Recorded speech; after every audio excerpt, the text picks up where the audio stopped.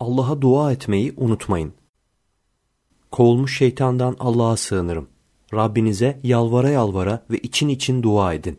Şüphesiz o haddi aşanları sevmez. Düzene konulması, ıslahından sonra yeryüzünde bozgunculuk, fesat çıkarmayın. Ona korkarak ve umut taşıyarak dua edin.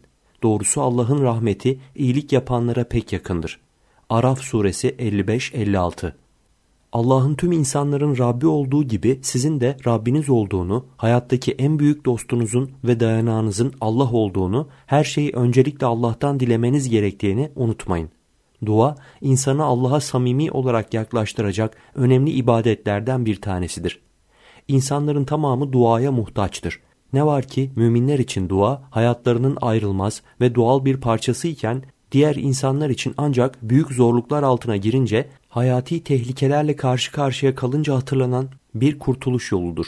Elbette ki sadece çıkarlar söz konusu olduğunda edilen dua Allah katında makbul karşılanmayabilir. Çünkü asıl güzel olan hem rahatlıkta hem de zorlukta kısacası insanın her anında Allah'tan yardım istemesidir. Çünkü dua eden kişi Rabbimize karşı acizliğini, Allah dilemeden hiçbir şeye güç yetiremeyeceğini anlamış demektir. Dua beraberinde Allah'a teslimiyeti de getirir. Dua eden insan karşısına çıkabilecek zor ya da kolay her türlü olayda kainatın yaratıcısı ve hakimi olan Allah'ı vekil edinmiş demektir. Bir problemi çözmenin ya da önlemenin bütün yollarının evrendeki tüm kudretin sahibi Allah'a dayandığını bilmek, tüm işlerinde Allah'ı vekil edinmek ve sadece ona dua etmek mümin için ferahlık ve güven kaynağıdır.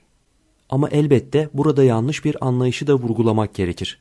Bir insanın tüm işleri için Allah'a dua etmesi demek, hiçbir şey yapmadan oturup beklemesi anlamına gelmez. Kişi karşılaştığı her şeyin Allah'ın kontrolünde olduğunu bilip bunun rahatlığını yaşamalı ama aynı zamanda Allah'ın kendisine çözüm olarak gösterdiği sebepleri de en güzel şekilde uygulamalıdır. Allah'a gerçekten samimi dua eden bir kişinin onun koyduğu kurallara göre fiili duasını da yapması gereklidir. Burada fiili dua kişinin herhangi bir arzusuna ulaşmak için elinden gelen her şeyi en fazlasıyla yapmasını ifade eder. Örneğin hasta olan bir insanın doktora gitmesi, ilaç içmesi, kendisine dikkat etmesi, iyileşmek için yaptığı fiili bir duadır. Bununla birlikte insanın tüm bunları yaparken Allah'ın kendisine şifa vermesi için istekte bulunması da sözlü bir duadır. Bu yüzden fiili dua, sözlü dua ile birlikte yapılması gereken temel ibadetlerdendir.